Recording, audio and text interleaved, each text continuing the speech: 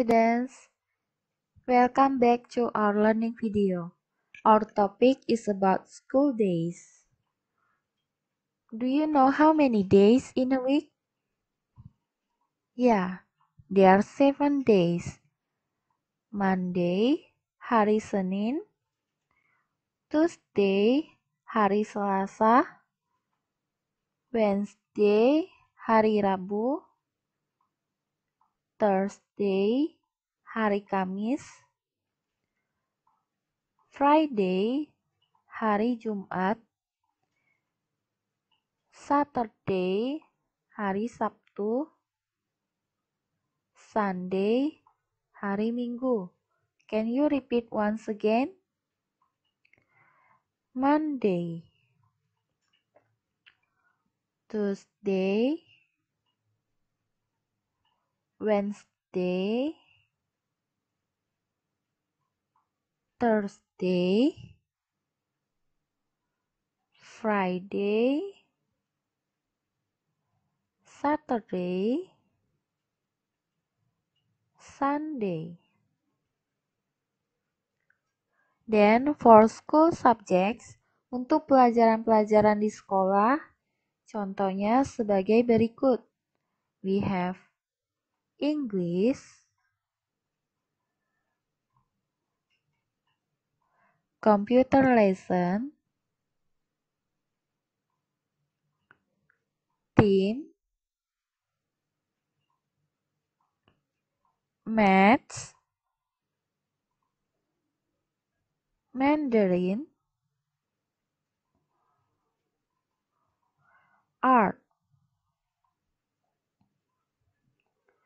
have got and has got. Keduanya mempunyai pengertian yang sama, yaitu mempunyai atau ada.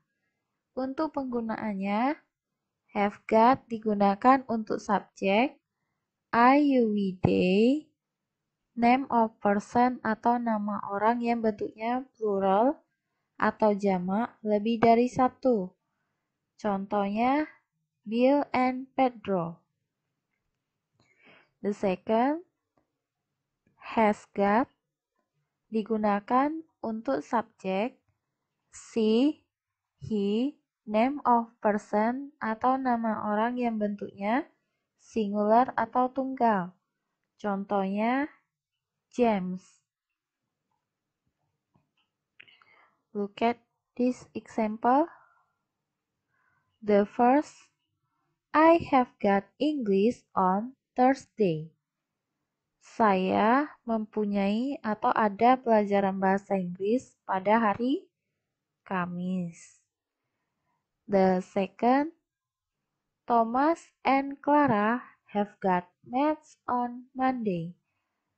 Nah, Thomas and Clara di sini adalah contoh dari name of person yang bentuknya plural atau jamak lebih dari satu.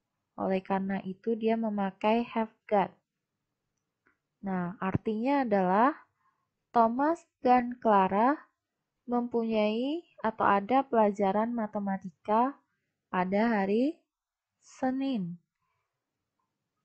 And then the third, Tom has got religion on Friday. Tom mempunyai atau ada pelajaran agama pada hari Jumat. Nah, Tom di sini adalah contoh dari name of person yang bentuknya singular atau tunggal, sehingga dia memakai has got. Ini adalah jadwal mingguan milik Tom, from Monday to Saturday. From this weekly timetable, we can make a question. For example, what lessons has Tom got on Tuesday? Pelajaran-pelajaran apakah yang dipunyai Tom pada hari Selasa?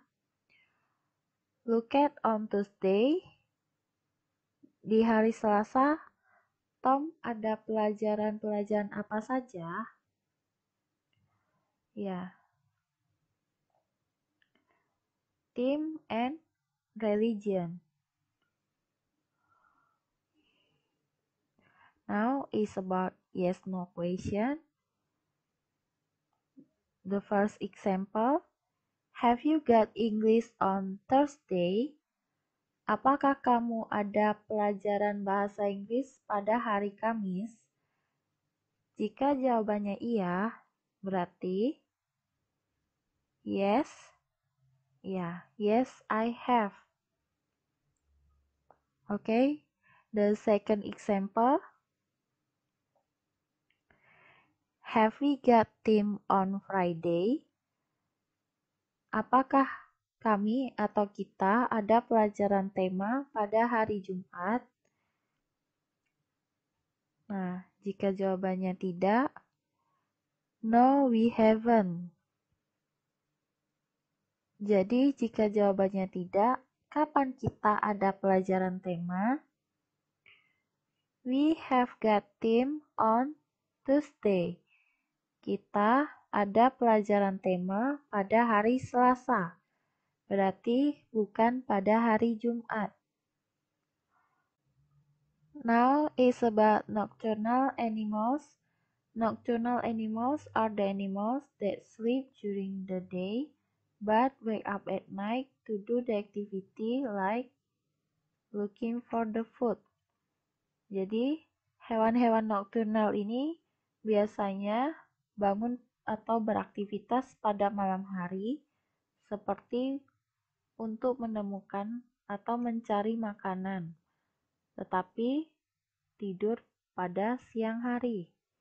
Nah, contoh-contohnya yaitu sebagai berikut. The first itu ada koala. Oke, okay. the second, what picture is this? Ya, yeah, it's a bat. Nah, How about this picture? Yeah, this is a scorpion. And then the last,